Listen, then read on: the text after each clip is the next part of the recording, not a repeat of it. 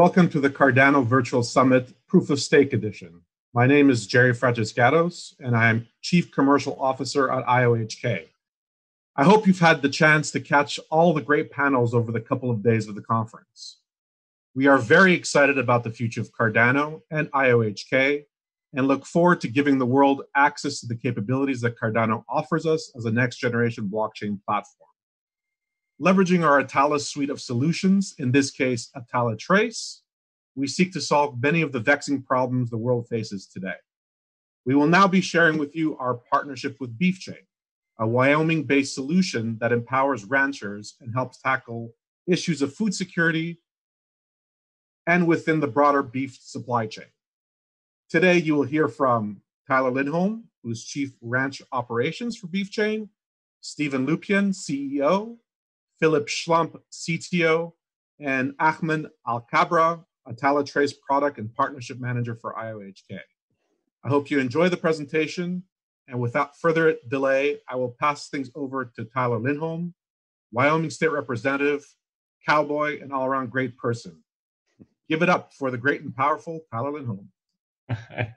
Thanks, Jerry. I don't know about great and powerful, but uh, I'll take it. so what I what what I want to talk about when it comes to food traceability ha- has a lot to do with the fact that food safety is always of, of concern, and um, we've seen multiple different governments across the world trying to tackle this issue, and yet oftentimes there's a failure.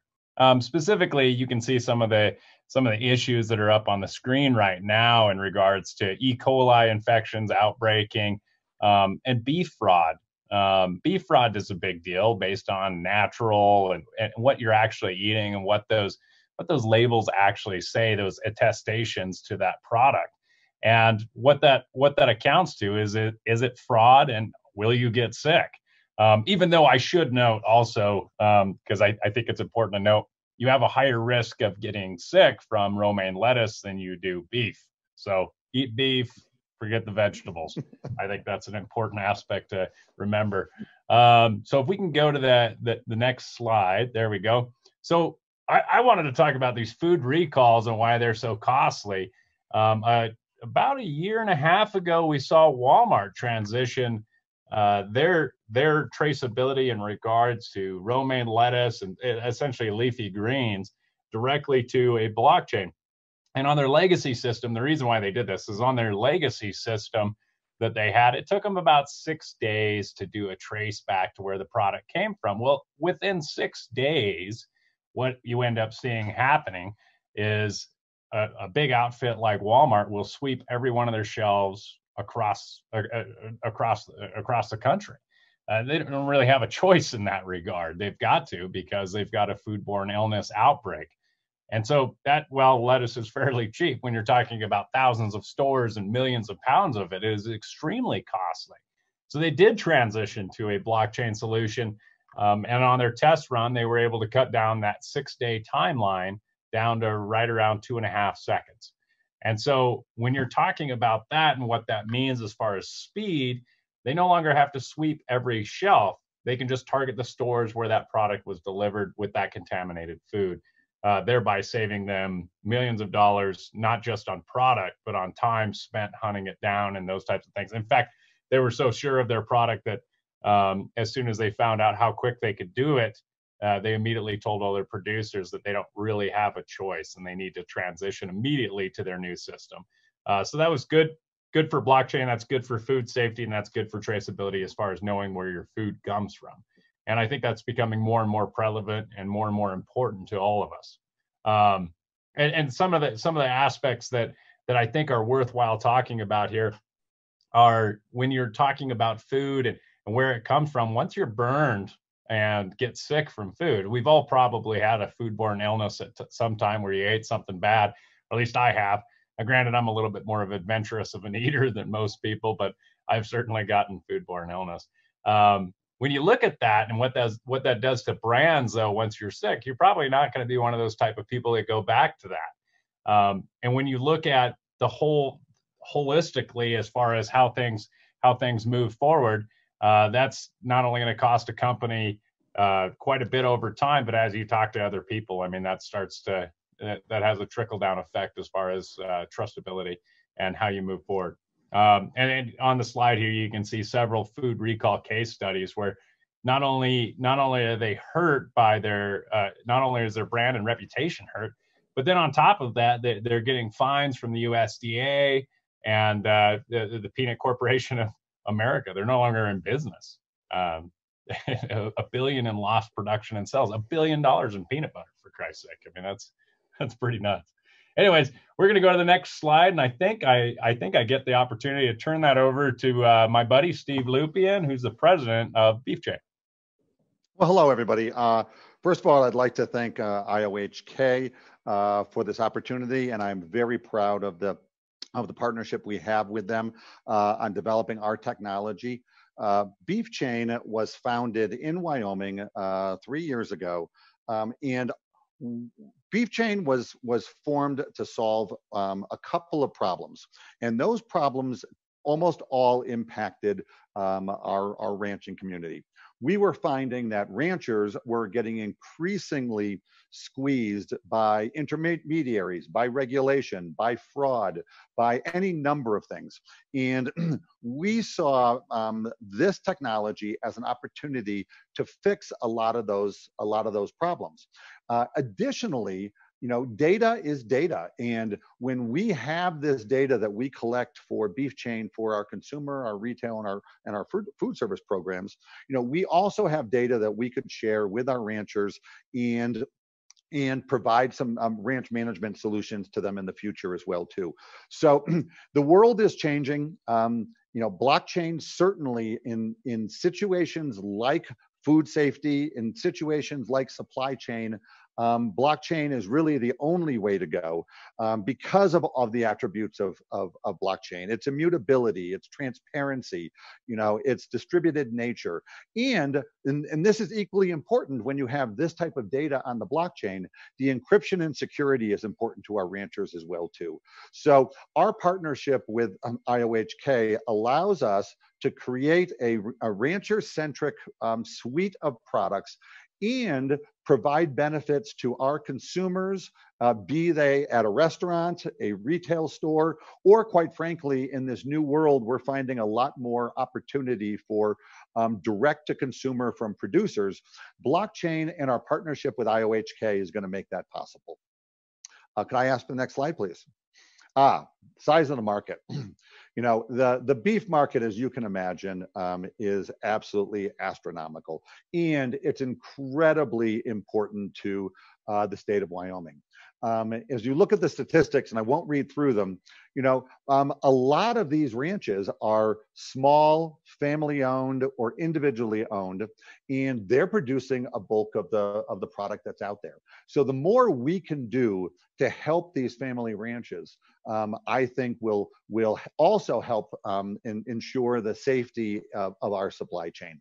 Too many big intermediaries um, can create create problems. So blockchain again gives us the ability to um, work with the our, our member ranchers, you know, provide them the benefits that they need, and more importantly, it allows us to um, to provide information to our consumers about the quality of the beef that they're that they're eating. As uh, as Representative Lindholm, uh, who is a a cattle rancher himself, can attest to, you know, a lot of a, a lot of fraud happens in in uh, in the beef market where people are claiming that their product isn't what it uh, truly is. And in the, in this world today more and more people are seeking out products that are you know um, grass fed hormone free you know um, any number of other attributes. And we and our system ensures that consumers are getting the product that they're paying for. And more importantly for us because we are so rancher centric, we also want to ensure that the ranchers get what they deserve for investing more time and effort in creating a quality, safer product.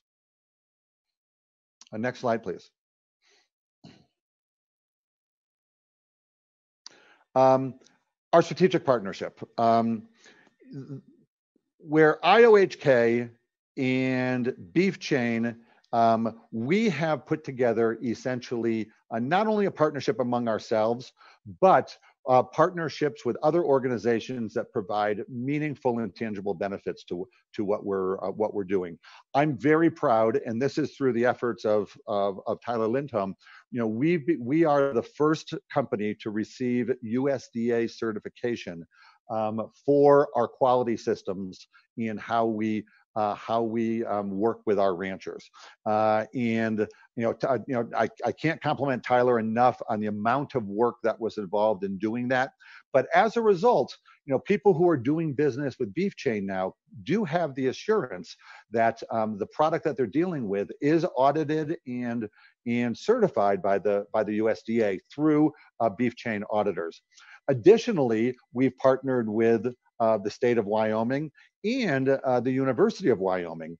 And, and through those partnerships, you know, we can work with the regulatory authorities to make sure that um, one, we meet all the standards, and number two, that our consumers can be assured that the products that we're um, that we're um, producing um, and delivering uh, meet those standards.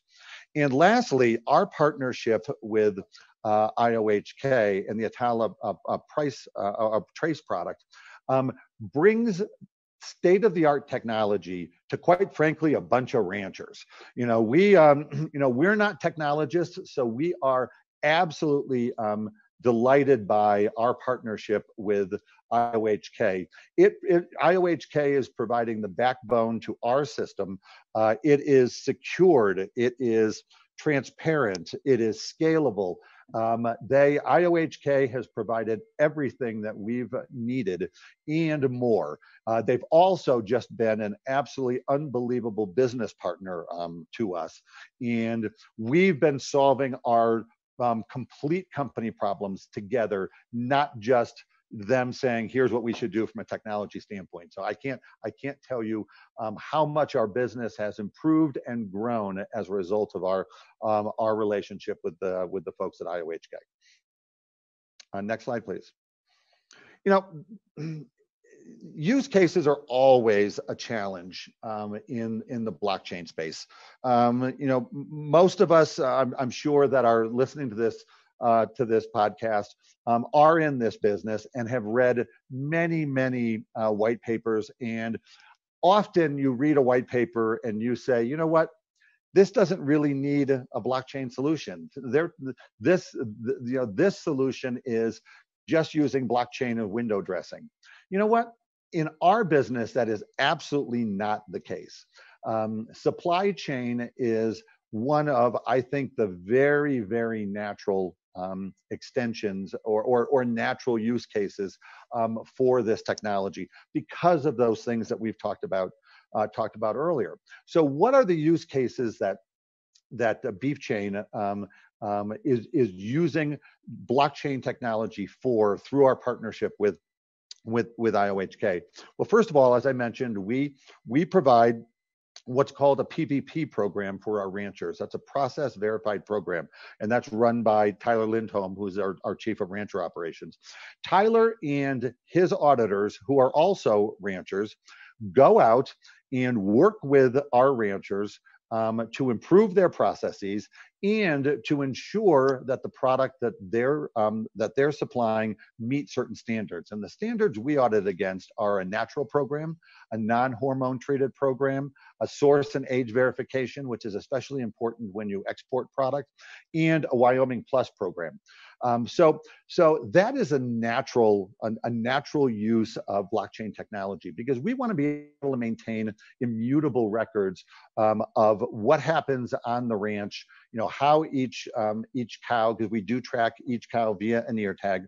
Um, you know, and and can verify um, um, you know exactly you know what's gone in in that in that cow's life and through the usda um, you know, we um, have trained auditors that go out and, and, and, and, verify that. So I'd like to ask Tyler Lindholm, who knows this process a much, much better than I do, to, to just give us a, you know, a, a very, very quick rundown on this particular use case. Right. Well, and I think this is kind of one of the funner parts of, of what Beef Chain has been able to do in a short amount of time is the big question that we ask ourselves we want to do this traceability we want to prove uh, where your food comes from um, but how do we convince ranchers to put tags in their animals' ears? I mean, where's the return on investment for ranchers? Uh, thankfully, we, you know, there's an existing program called a process verified program. And for those of you that have ate at Whole Foods or bought your food at Whole Foods or those types of organizations, you, you'll go in and you'll see grass fed or non hormone treated cattle. Well, the only way that those can be verified as such is through the traditional program of a process verified program, which does have a return on investment for the ranchers anywhere from five to 25 to 50 cents extra a pound. Now, when you're talking about a herd of cattle, that's an extra 25 to 30 grand every year that a rancher puts in their pocket. So that return on investment aspect was really important for us. Most of our ranchers know that we use blockchain technology. They have no clue what that actually amounts to or the purpose of it. But what they do know is that as it stands right now over over the last 2 years, our program has returned investment back to those ranchers where they've made more money for raising a quality product and that's uh, that's food right here and right local. And so we're we're really proud of that aspect. It is a it is a little bit of extra paperwork for a rancher to do, um, but as we're automating things, thanks to the help of Cardano uh, Cardano's team with IOHK, it's it's um, becoming easier and easier for our ranchers. So that's really the gist of it, and why we did it is that return on investment angle is huge for us. Uh, thank you, Tyler. Another important part, and um, it is um, it is going to be discussed in, in, a little bit from our chief technology officer, is our latest pilot um, is a little bit different than our our PVP program.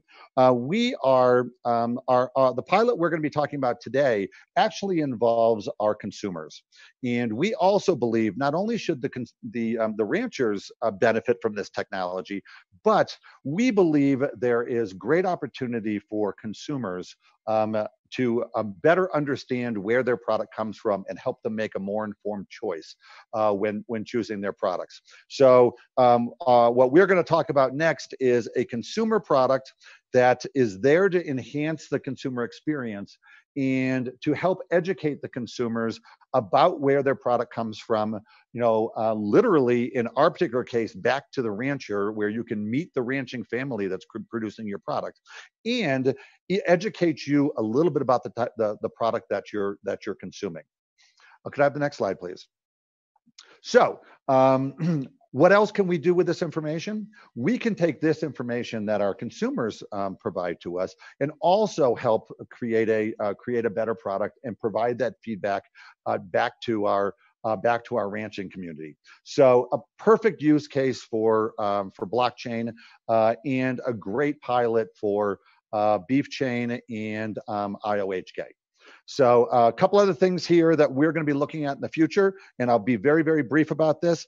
Blockchain also allows us to change the way that um, the ranching business is financed and the ranchers are paid through a tokenization model. You know, we could speed payments. Um, one of the challenges with the ranching community today is they get paid at the end of the year, one shot payment.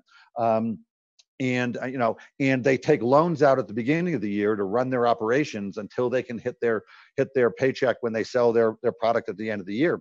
Well, we may be able to greatly disrupt that through tokenization, and um, and I think um, um, blockchain um, really allows across a lot of industries this tokenization could fun- fundamentally change the way um, business models operate. In our particular case, it may even eliminate the the need for ranchers to actually go out and get loans. In many cases, those loans become unbelievably oppressive on ranchers, especially if the price drops radically, which is happening happening right now. So I think uh, trade financing um, is an important new aspect. And um, the import export um, uh, market is incredibly important, especially with what's happening in the world today. The amount of information that you need to have on your product, um, you know, beyond just agent source, um, you know, can be oppressive to ranchers. So our system um, will allow our member ranchers to take better advantage of the uh, of the export market. Would you like to add anything to that, uh, our, our resident rancher? no, I think, you know, that we, we've got the opportunity to go really leaps and bounds in lots of different directions. And as Steve said, disrupt this, this whole food supply chain. And the goal is to make that supply chain, the long-term goal is to make that supply chain a lot shorter so that you as a consumer know know your rancher even though they might be across the world you know who your rancher is you know how that animal was raised and you can prove it immutably with blockchain technology. And with iohk's help that's going to become a reality pretty quick i think. Uh, next slide please. Ah let me uh, adjust my screen here for a quick second. Um, the benefits um, of blockchain in the supply chain market, I, I think are are really evident. Uh, as Tyler mentioned, you know, um, the ability to trace your food um, back very, very quickly not only pro- provide safety for consumers, but quite frankly, it is um, it it, um, it, cuts cost dramatically. Uh, if anyone has not looked up the famous uh, white paper on the, the Walmart Mango study, uh, I absolutely recommend you do. That is an absolute uh, textbook example of uh, supply chain um, visibility.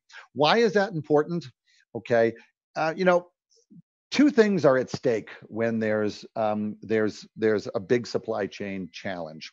Uh, the first one is uh, the reputation and, and, and quite frankly, as as Tyler Lindholm mentioned um, earlier, even the existence of of of your of, of food company.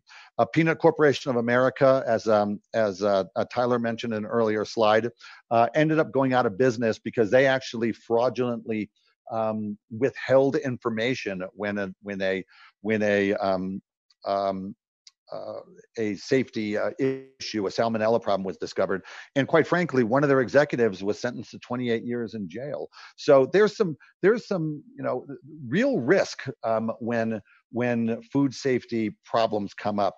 You know, brand reputation, viability um, of your company, and in many cases, even the viability of the products. It often takes years for consumers to become comfortable again um, with a particular food product. Spinach is still suffering from um, a, a food recall a number of years ago, and you know certain certain companies that have used romaine lettuce, um, you know, have um, are are still dealing with uh, some uh, some consumer um, trust issues, and romaine itself still isn't back to um, its its its pre-problem levels. So you know I, I think there's a lot at stake when problems happen. And if you know blockchain allows us to zero in on those problems very very quickly um, in many cases, instead of having to clear, you know, whole shelves of, of product and do um, you know, widespread recalls, through blockchain technology, we can narrow problems down very quickly to a very particular source and mitigate the problem at that source without creating, you know, the the, um, the supply chain wide challenges that that often happen. Um, and lastly, again, it's about consumer engagement and trust the more consumers know about the product, um, the, one, the better for the consumer and the better for the producer. Um, we want to not only disrupt the supply chain um, from a intermediary standpoint, but we want to disrupt the supply chain so that we can have more engagement between the consumer and the producer. Through that partnership is where we're going to get trust. And next slide, please. Um, again, continuing on benefits, uh, efficiency, absolutely. You know, as I mentioned earlier, data is data. And once you have that data, that data can be used for any number of, of, of purposes that would benefit the supply chain, benefit the consumer, and in many cases, uh, benefit the, uh, the producer. Um, that disruption um, that uh, Tyler has mentioned will also produce greater margins. You know, Tyler mentioned that our ranchers are getting a higher price uh, for their product. They're getting that higher price because they're able to immutably prove that that their products meet higher standards. Without that proof, the intermediaries are the ones that benefit. And we want to make sure that by our ranchers being able to prove um, you know, the, the quality of their product, what would normally go to an intermediary goes to the uh, goes to the producer. Um, that's going to create higher quality products. Um, it's going to produce safer products. Um, the products are going to be uh, more ethically raised. It's going to be more sustainable. The benefits are immutable, uh, or, or, or, or, not immutable, unlimited. Um, and lastly, you know, blockchain technology actually helps our regulators. And you know um, you know any number of ways you know that the data that we collect you know we can share with our regulators in, and they can trust that without um, a lot of additional cost in compliance. In many systems you can actually give your regulator an on-ramp and let your regulators see some of this data and help provide some of that trust. So um, you know, uh, blockchain, you know, both benefits the consumer, the producers, and the regulators. So really, the only ones that are being challenged are the intermediaries right now that are that are quite frankly the ones that we're trying to disrupt. Uh, next slide, please. With that, um, I'd like to introduce um, our Chief Technology Officer. Uh, his name is Phil Schlump.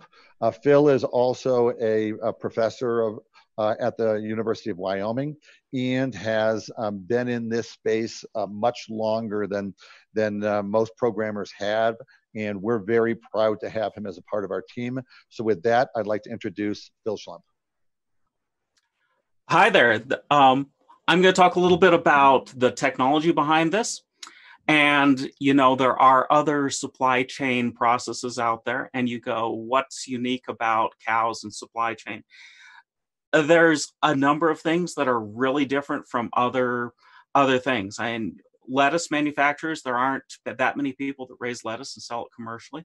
But in the ranching field, you see that the average size of ranches is actually very small, with I believe 42 cows per ranch. So it's a very largely distributed set of inputs. And cows themselves provide some unique attributes. They move on their own, okay? They lose tags and in the processing, when you track the movements and you track the processes that goes through with cows, what you find is they also involve some things that most other products don't have associated with them. And it makes it nearly impossible to use an existing off the shelf tracking system for them. The biggest thing is that eventually the cows are going to get deconstructed, which is not what you usually do, and they're going to get deconstructed into pieces. Another big part of this process from a technological perspective is the fact that this doesn't run on the time frame of a software process. This this process runs on the time frame of the cows have to be born and grow up and it's taken time to get through that where we actually have cows that we're tracking now that started out being tagged years ago because this involves the life cycle of our cows. Uh, this provides a lot of unique things. So, a tracking system like this starts out with, by and large, RFID tags. And that's where the cows start. But eventually, these things have to get combined with other things. And cows move through a lot of different steps. Uh, you just think about, you know, a cow gets raised, and pretty soon, you know, it's packaged meat on the shelf but there's a lot of steps in between and a lot of different players. Some of these players, you know, we talk about disrupting it, but some of them we'd actually like to completely take out of the supply chain because not only are they expensive and it isn't good for the cows or the cow's health or the quality of the product, but they don't serve any useful purpose in a world where we can actually effectively track on a blockchain and demonstrate the value of the things on the blockchain itself. So there are pieces we want to take out, and we're working through that. But you also end up with something that has unique processing, and we go through a number of different tags and processes. Eventually, we end up with where we'd like to be able to prove at the end that yes, this is a real product that people are eating, that it meets these criteria, that it has these particular uh, proof of process proof of provenance things that these are the things that are, are are the qualities that we want the consumer to end up seeing at the mm-hmm. end. And right now that visibility isn't there. That visibility is an important piece of why we're using a blockchain to do this because the immutable data and the blockchain guarantees that the data is real that this is what really happened in the past. And guaranteeing that reality of the data is hugely important in the end process. So, you know, we talk about it, we look at the cows on one side, and on the other side, we've got uh, the finished product, hopefully with a menu, or in the case of this particular case, with an actual uh, card that has a QR code that allows the end person to trace, or a package of meat that you buy in the store that can allow you to actually use your phone and trace that and see is this real? What what was what was the state of this cow? Where was it born? Where did it come from? In some other foreign countries for the export market, you know, we see that there are large portions of what is counted as beef isn't even really beef, it's water buffalo. And that's a huge thing. We don't see as much of that in the United States.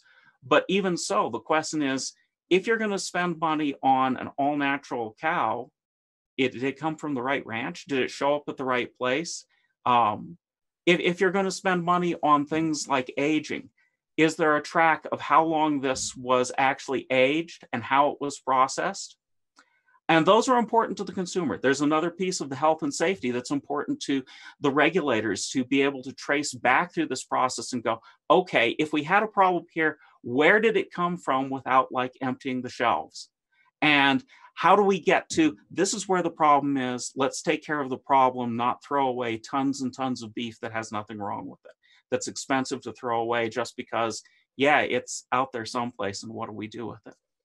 So, with that, the question is you've got a QR code there. What does that actually lead us to? I mean, there's steaks on the table. There's a, a maybe a business card size thing that has the QR code for this particular animal so that you can track its history. Um, you want uh, let's let's do a demo and actually scan this QR code and see what it looks like on a phone. And most phones today, 96% of them, they can do this. So the question is, what's in that QR code and where did that steak really come from? Is it all natural? Is it from the place it claims to be from? So let's take a look. The Campstool Ranch, since 1878, and it's from a real family of ranchers so that's kind of the end goal. And we're getting, thanks to IOHK, we are very, very close to having this put together, not just for this, but for actually the entire process. Hi, everyone. This is uh, uh, Ahmad Al Kabra. Um, I'm the product and partnerships manager for the Atala Trace at IOHK. It's uh, it's been a uh, it's been really exciting uh, uh, journey with the Beefchain folks. I keep I always learn new things about the beef cattle industry and uh, and the cool tech that they've developed so far and the and the business that we're after. I mean, as you you saw, this uh, industry suffers from a from a massive problem, not only for the companies and supply chain parties, but also from a brand trust and consumer confidence. So, Beefchain, along with Atala Trace, uh, powered by Cardano, we aim to empower ranchers and other parties gain visibility and control of their supply chain, as well as provide that last mile aspect to it, which is directly engage and foster trust with customers. So, um, just a quick sneak peek of Atala Trace that uh, currently is in development. Uh, we took a, I guess, first principle approach to it rather than developing something that's complex or that nobody's going to use we looked at it as more practical and pragmatic approach to it. So so as the collaboration with Beefchain kind of uh, started evolving and we started the discussions uh, we started looking into it as okay so what are the things that we can uh, uh develop that we can try out in real practical use case scenarios out there? And so we are developing this trace management system that's built on cardano uh, and it'll be the first use case actually leveraging Cardano's metadata functionality in transactions. And I'm sure you'll hear about this in a lot of the uh, Cardano sessions. Uh, but essentially, what we're trying to do here is, is how do we simplify this for a, for a supply chain operator to, to create their products within, to create narrations, uh, history, provenance, as well as monitor their uh, uh, Cardano balance uh, and this all kind of creates hashes of that in the uh, uh, on the blockchain. And and and what and over on the right, what we're creating is more a delightful experience for the consumers. So uh, as you've seen uh, from Phil's, Philip's demo, that a consumer could go and scan a QR code of a of a uh, of an item in the, at the restaurant or a or a retail shop. And what we want to do is is highlight kind of what this product is about, highlight the ranch uh, family that's been taking care of this cattle, you know how they're feeding it, how they're raising it, um, and um, and provide those attestations and certifications, as well as give the consumer a way for uh, for them to track kind of all these things in a in a uh, in, a, in, a, in an easy to use format. So um, to, to put it all together, I mean, we kind of aim to uh, to provide supply chain visibility, uh, brand protection, consumer engagement, and, and trust. And with that, uh, we'll, uh, uh, we're, we're at the end of this session. Thank you everyone for participating and uh, thank you for all the presenters here. And uh, with that, we'll, we'll move over to Q&A. One last note, if anyone wants to know more about our solutions, please feel free to reach out at business.development at iohk.io. Thank you very much.